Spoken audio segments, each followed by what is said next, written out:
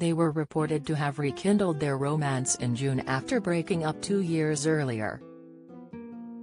And things still seemed to be going well for Camila Mendes and Charles Melton on Friday night, when they went out in Los Angeles' hip Los Feliz neighborhood for a double date.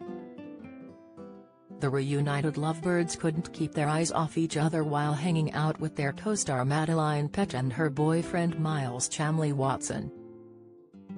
Scroll down for video Camila looked sleek in black with a ribbed black cardigan to keep her warm on the chilly evening air.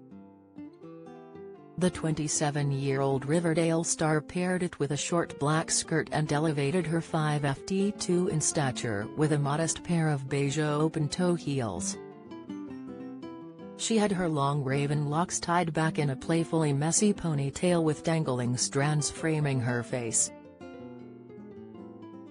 Charles, 30, contrasted his girlfriend in white double denim, with a jacket and matching jeans. He wore a red and black plaid shirt underneath and sported a shaggy hairdo. He and Camila were seen hunched over together intimately at their table while dining outdoors.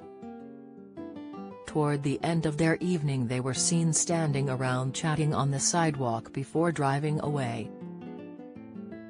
The two sparked reconciliation rumors in early June after they were spotted dining out together with friends, including their Riverdale co-star Cole Sprouse, as well as his twin Dylan Sprouse and the model Stella Maxwell.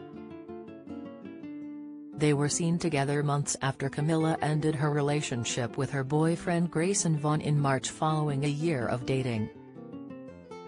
There was no drama at all, and they are still friends. Their relationship just ran its course, a source told D! News at the time.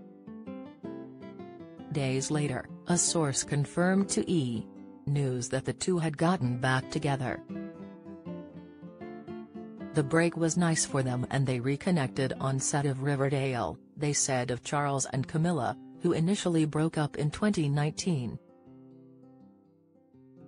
Being around all of their mutual friends and hanging out together often made them realize they still have a strong connection and chemistry, the source told the outlet. They care a lot about each other and have a bond from filming together for so many hours each day. The actors aren't looking to put too much stress on the relationship, as it's going well in the early goings of their reunion, the source continued. Camila and Charles initially confirmed their relationship in October of 2018, when the actress shared a photo of Charles kissing her and captioned it mine. They had been co-stars on Riverdale since the show's second season, when Charles took over the role of Reggie Regimental from Ross Butler, who portrayed the character in the first season. The actors shocked their fans in February 2019 after Charles fooled several people into thinking he got Cammy tattooed on his chest, even though it was clearly a temporary tat. At the premiere of Charles' film The Sun is also a star, Camila called her then-boyfriend a hopeless romantic to E.T. and revealed that he would occasionally write her love letters. In August of that year, the couple marked a year together, but their romance didn't survive much longer. In December 2019, E! News reported that the two were taking a break and had split up months earlier. Despite the separation, they were seen acting together on the Riverdale set and reportedly were able to keep up a professional work relationship despite ending their personal relationship, though their time together seems to have made it easier to restart their romance.